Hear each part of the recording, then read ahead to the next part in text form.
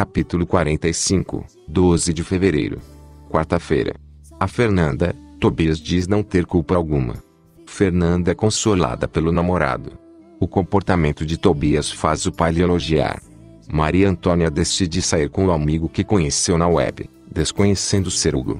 No mercado municipal, Oxente e o filho executam tarefas. Hugo e Juliano traçam uma estratégia. Pepe fica com vergonha da mãe quando ela surge no treino lhe levando comida. Poderosa pede para Bebiana lhe fazer um vestido. Rosa Flor faz de tudo para controlar a mãe de Pepe. Bento volta para o asilo. Luigi relata a Serena que a filha se encontrou com a Poderosa. O casal fica aflito. Pepe pergunta a Rosa Flor se ela quer namorar com ele. Bernardo acalma Tobias e afirma que o delegado vai pôr em panos quentes o assassinato de Luciana. Fernanda é confortada pela avó. Tobias é alvo de conversa de Pedro Antônio e Donatella.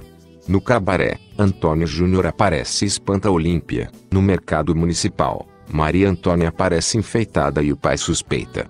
Olímpia rejeita empregar, de novo, Antônio Júnior. Maria Antônia é vista por Hugo, que usa um disfarce.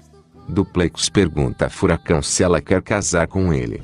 Pedro Antônio vai atrás de Miguel, para conversar a respeito do segurança da Brás.